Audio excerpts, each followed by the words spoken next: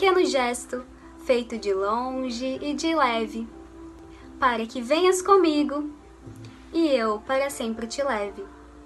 O tempo nos aproxima, cada vez mais nos reduz a um só verso e uma rima, de mãos e olhos na luz. Não há tempo consumido, nem tempo a economizar. Eu ficarei só como os veleiros nos portos silenciosos, mas te possuirei mais que ninguém porque poderei partir. E todas as lamentações do mar, do vento, do céu, das aves, das estrelas serão tua voz presente. Que eu não sou feliz?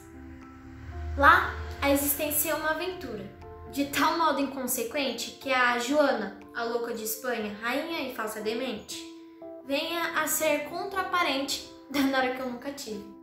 Mas quando falo dessas pequenas felicidades certas que estão diante de cada janela, uns dizem que essas coisas não existem, outros que só existem diante das minhas janelas. Uma parte de mim pesa, pondera, outra parte delira. Certo perdeste o senso? E eu vos direi, no entanto, que para ouvi-las, muita vez desperto e abro a janela, pálido de espanto. Cambaleando cego ao sol do acaso, vi o mundo rugir. Ainda tá pra nascer um cabra pra fazer isso. Aquele que se atrever, pode rezar, vai morrer, vai tomar chá de sumiço. A gente se acostuma para não se ralar na aspereza, para preservar a pele. Se acostuma para evitar feridas, sangramentos, para esquivar-se da faca e da baioneta.